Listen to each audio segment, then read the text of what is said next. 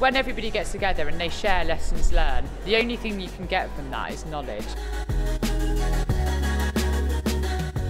Today is great, right? Because we can show off one of our buildings. It's our flagship building. It's an incredible building. Right, today is a beautiful opportunity, first of all, uh, to learn about Class Foundation and uh, also the state of uh, housing accommodation uh, for students at the moment. I think the first thing is to listen to your residents and listen to their feedback. Listen to what people want and understand your demographic. So it's really important when building a community to understand who lives within that community. I think it's important to promote private and public collaborations at events like these. We can learn so much from each other. Everybody in one room, everybody together.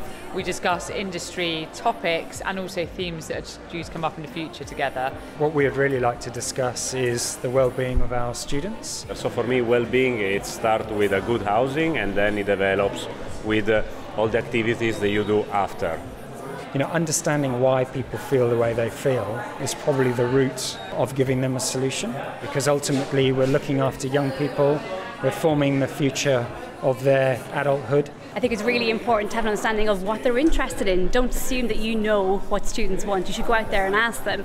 And then from that, I think a really important thing is to have good staff resources, good staff training to be able to fulfill those obligations and make sure students can have an equitable and a memorable, a fantastic, positive student experience.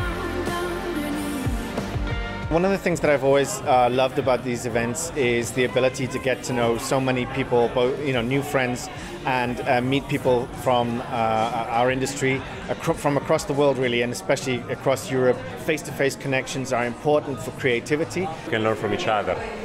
By networking, uh, we make uh, connection, and through those connections, we, at the end, the ultimate goal is to offer a better uh, service for the end users, the students.